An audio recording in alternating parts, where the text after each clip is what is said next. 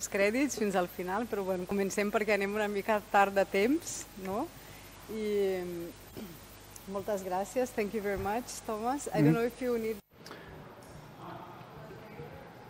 No sé si hauràs de fer servir l'aparell de traducció simultània. ràpid de preguntes de, del públic. No sé si algú té alguna pregunta que, que, que surti, però bueno, un comentari molt ràpid només retomant no? que crec que, que també, com deia el Thomas al, al començament, eh, la pel·lícula enganxa bastant, eh, jo crec que amb, amb la, el treball de recerca que ha presentat el, el Moisès no? respecte a lo que, a lo que passava. Bueno, és, el seu és una investigació eh, científica, diguem, però la pel·lícula també està basada en, en investigació de, a fitxes policials, no? a, a temes, eh, bueno, una recerca d'arxiu no? policial bastant similar i en una època també eh, més o menys eh, eh, similar, no? però en països diferents, amb contextos molt diferents en aquells moments. No? Eh, Alemanya era un país ja democràtic quan tot això passava, no? Mentre que, que Espanya bueno, era, era una dictadura i la transició. No? Eh, bueno, jo no, no parlaré molt perquè crec que aprofitem el temps que tenim el Tomàs aquí no? per explicar una mica eh, bueno, això, que el, el que havies començat a, a dir al començament, jo crec que era bastant interessant. Yes, thank you. Sí, gràcies. Gràcies per la traducció. I tot el que hem vist aquí és eh, realitat.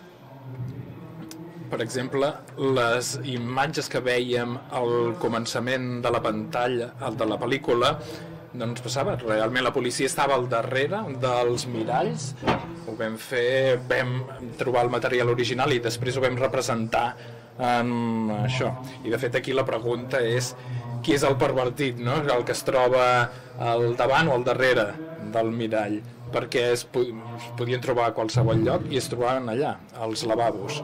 La gent ens va explicar totes aquestes històries, de fet vam començar a Berlín en un arxiu per di memòries diferents, que és com l'anomenaven, i van parlar amb homes que havien patit coses com aquestes i que havien estat en camps de concentració i després els van alliberar i els van posar directament a la presó. Això per a mi era horrorós. Com. I aquesta ràbia que vaig sentir la volia traslladar en una pel·lícula. Una pregunta, si no jo segueixo també. Que... no? Uh, bueno, també, eh, o sigui, a part d'això que, que explicaves, no? eh, de la, la construcció del personatge, que, que crida molt l'atenció dels dos personatges, no? com, estan, com deies, estan basats en, en històries diverses, no és, o sigui, Hans en si mateix ni Víctor exist, existeixen, no? existien eh, com, a, com a persones, no? però sí com a personatges. No? Aquest treball de construcció de, dels personatges eh, a part de les històries, també crec que és interessant saber com, com heu arribat a conèixer aquesta història, no? o, o aquestes històries, o de, com, com, com va ser el començament de tot. No? De... We, we went to the art. Vam anar a l'arxiu i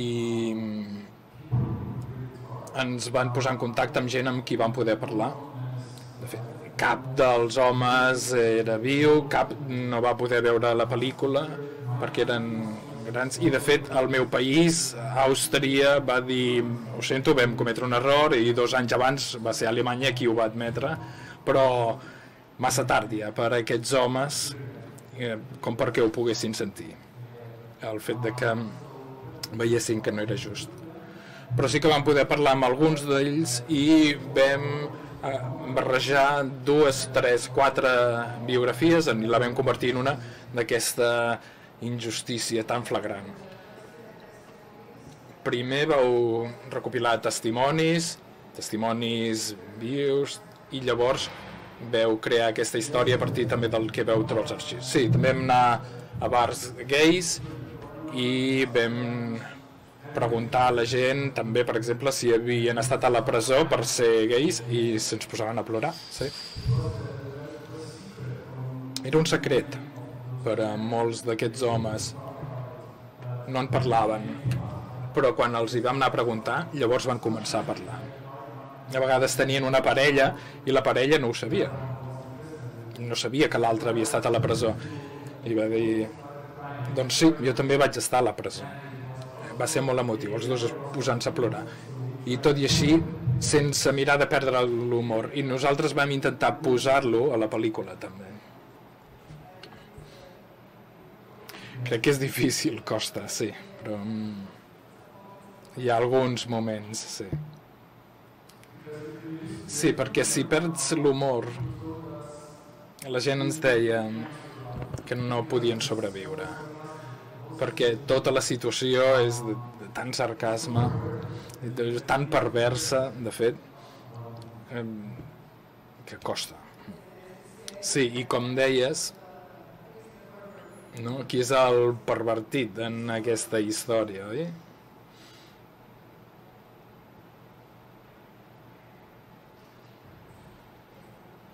No sé si hi ha preguntes. Sí? Aquí?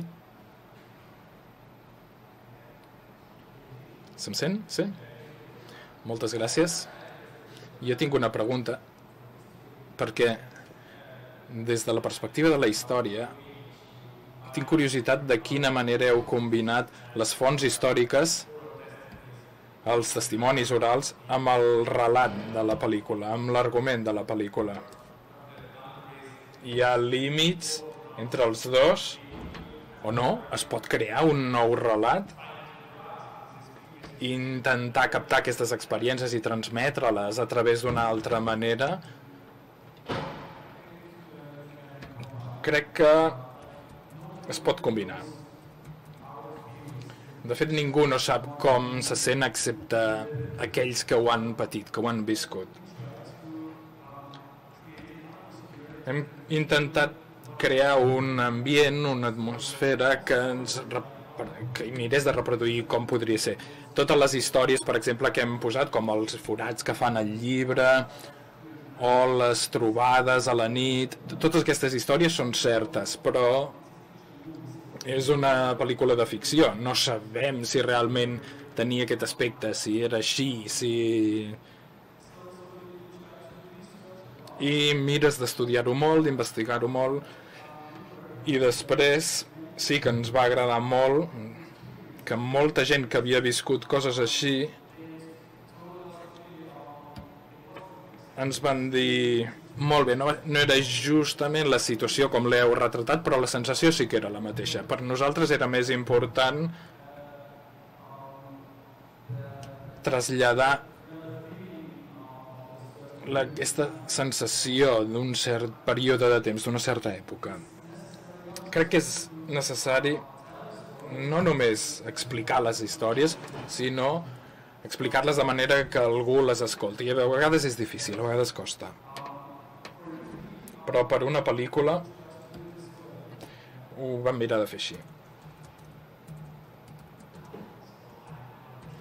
Jo tinc una altra pregunta, perquè amb, amb l'ús d'aquest material històric per fer una pel·lícula, jo tinc de fet dues preguntes. En primer lloc, suposo que, vam, que heu portat la pel·lícula a diferents ciutats, a diferents festivals, i quina ha estat la reacció? M'imagino que hi haurà qui s'ha trobat en situacions semblants amb les que surt en la pel·lícula i m'agradaria saber com han reaccionat. I també si heu rebut alguna mena, un cert rebuig, eh, perquè crec que altres documentals, altres pel·lícules que podrien ser semblants, la gent que ha participat en aquestes situacions ha criticat que sí, que un es representa des de la perspectiva actual, no sé, m'agradaria saber si heu rebut crítiques en aquest sentit. Vam rebre molt bones reaccions, de fet vam ser a molts festivals de pel·lícules queer i al principi en teníem una certa por perquè era una història de fa 25 anys, no és fàcil de fer, vam tenir mala resposta d'alguns països que no volien mostrar-ho. A Turquia, per exemple, no volien projectar la pel·lícula i molts altres països tampoc no volien tocar les qüestions de l'homosexualitat. La història és que, per exemple, tiets, tietes de la meva família o gent que mai no havia pensat en l'homosexualitat. Molts van venir després de la pel·lícula i em van dir m'ha emocionat, he vist que realment els homes es poden estimar entre si, realment, que és, amb un, és amor, i per a molts va ser l'inici d'una conversa. En aquest sentit sí que vam rebre bones opinions i també eh, hi ha països on no es vol transmetre, explicar aquestes històries. Nosaltres, de fet, ara fa un any, ni tan sols un any, al meu propi país, va ser quan van dir ara hem comès un error. Fins i tot hi ha països occidentals que els hi costa encarar amb aquestes injustícies del passat. Si no hi ha més preguntes, eh, tu vols fer un comentari, Oriol? Sí? Una, una última pregunta. Eh? Thank you, Thomas. Gràcies, Thomas. Em sembla que una mica ja ens n'has parlat del procés de creació de la pel·lícula, però tinc curiositat sobre la presó. Està oberta? Hi ha algun monument commemoratiu allà? No sé. Potser si ens en pots parlar una mica més. Es tracta d'una antiga presó de la República Democràtica estava buida, allà hi vam poder fer tot el que vam voler, el que hi vam voler fer i a Alemanya, a Àustria, no vam trobar ni un sol centre penitenciari que estés buit.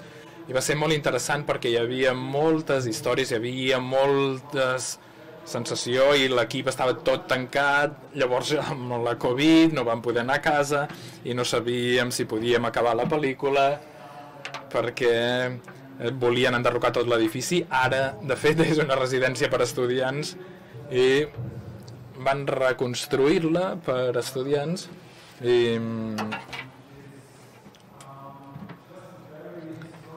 i de fet eh, va ser un edifici històric que vam tenir la sort de trobar. Per a nosaltres va ser més fàcil rodar-ho en una presó perquè si bé ara les presons tenen un aspecte molt semblant i gent d'Iran que estava entre el públic ens va dir acabo de fugir d'Iran perquè jo m'he passat en una presó com aquesta, en condicions com aquestes, molt de temps per ser gay. Per tant, m'encanta ser aquí. És a dir, que no, no s'ha acabat. De fet, en un de cada tres països arreu del món, la homosexualitat encara ara es castiga. I sembla que és una cosa que haguem deixat enrere, però la veritat és que no és gens segur i és una qüestió amb la que hi hem de treballar, amb aquesta llibertat, dia rere dia, per no perdre-la.